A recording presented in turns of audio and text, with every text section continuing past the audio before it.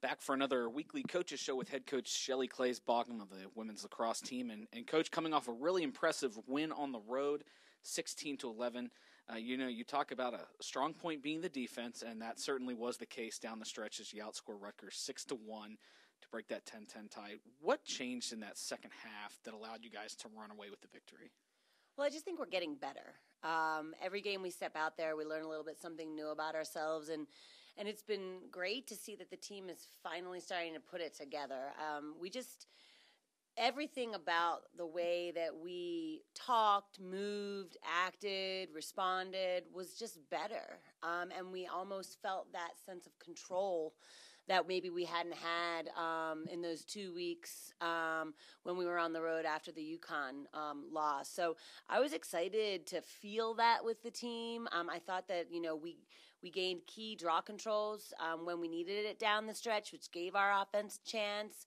Um, we you know really did a great job of managing possession and picking and choosing great um, shot selections to finish uh, the goals. Um, and then, you know, even when we put our team in a position to have to defend, we just had a composure about us, um, which allowed us to clean up the play and, and give it back to the attacking unit. So I was just really impressed with how quickly we had turned around our levels of, of composure to show the control and discipline we need to be able to win big games.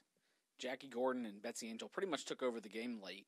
Um, how proud are you as a coach to see your seniors really stepping up? Because obviously it wasn't the start to a season you wanted to have, and now you have these these seniors really stepping up for you, not just on the offensive but defensive end of the ball.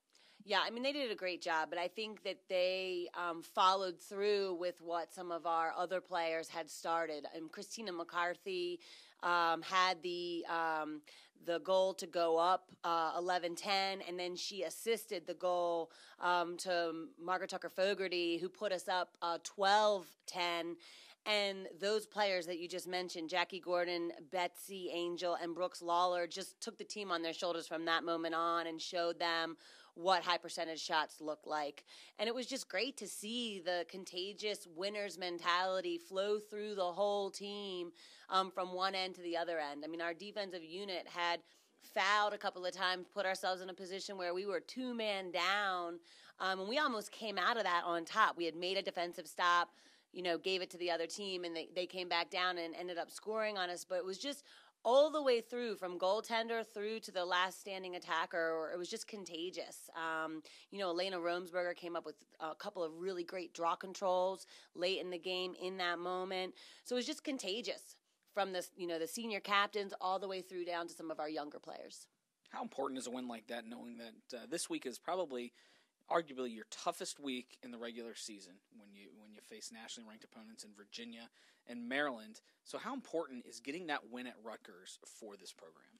I mean, it's important in any year. Um, Rutgers is a great team. They're very physical. They're used to playing a strong schedule. They never quit. They fight to the end. So for us to show that 60 minute resilience, I thought was key. Um, but then also for our program, who um, maybe had a couple of early season losses that we would say should not have happened to be able to clean it up and find a way to come through with a victory with the amount of control that we had on the attacking end and through the midfield was just really exciting for us. Um, and that gives us confidence going into this week um, that we are getting better. Um, that if we keep the focus on ourselves, you know, we have the ability athletically um, and aggressively to play with anybody in the country. And that brings us uh, to my, the next point uh, Virginia. Uh, play them tomorrow. It's a team we've played pretty much every year except for one, but dating back to 1975. So program we're pretty familiar with. Uh, they've they've kind of had kind of a similar year to JMU, kind of some ups and downs, uh, good wins, and maybe some losses they think they shouldn't have either. How do you approach a game like this uh, and what you can call a rivalry game? Well, I mean, you know, I think it's important for us to c- continue focusing on ourselves. Um, but I also think that we need to be realists. You know, the last couple of years, we have not competed against this program the way we expect to. And a lot of that was to do with not being able to win a draw control. Um, they graduate an incredible player in Courtney Swan, who's dominated their draw possessions the last couple of years. They have great players coming into that role for them, but we need to compete on the draw.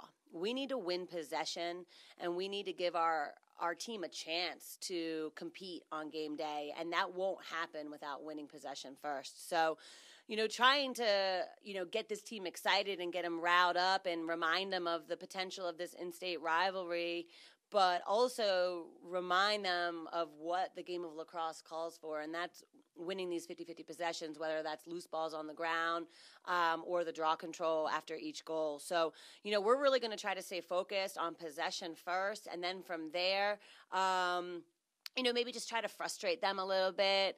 Um, you know, see how strong of a offensive unit we can be. We're going to need every single player to step up for us and be a threat. There's no way we can compete unless all 12 players aren't being aggressive with the ball. Um, we need to share the ball. Um, you know, they're they're too good of a team to just think that we're going to beat them in a one-dimensional 1v1. We're going to have to have strong ball movement and and hold them accountable for early slides or late slides. Um, and then we're going to have to play defense. You know, I mean, they are very high uh, just strong firepower. Um, yes, they are a team that has had some losses. I think they're coming into our game with four losses in a row, but you would have to hope that that would be igniting their fire and they're going to be wanting to step up too. So both programs are really hunting wins right now both programs are fully capable of performing on game day. It's just which team is going to step up and be the better team and show control in late minutes in the game. And then on Saturday, you head up to College Park, the number one team in the country, Maryland. That's a team that's really dominated this series, and it's been a while uh, since this program's beaten Maryland. Uh, just how do you approach? Obviously, the focus is on Virginia until tomorrow night, but then how do you focus uh, your attention, not just as a coaching staff, but as players, for for the defending champs and number one team in the country. I mean, you're exactly right. Maryland is, is competing in a league of their own right now. They just uh, last week they played Florida, who was number two at the time, and crushed them 14 to four.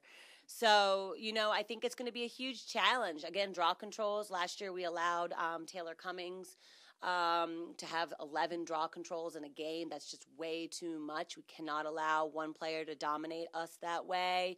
Um, but the bigger thing is just being able to create an environment where the girls feel um, aggressive, they feel tenacious, and they feel like they can be confident to compete. And so I think it's going to be, you know, the big focus is going to be reminding them on the passion of the game and what it feels like to enjoy competition and, and love the dogfight and be able to, um, you know, come out on top. Um, you know, obviously we don't schedule any team that we don't think we can compete and beat. Um, we've actually been one of the few teams to compete with um, Maryland over the last couple of years.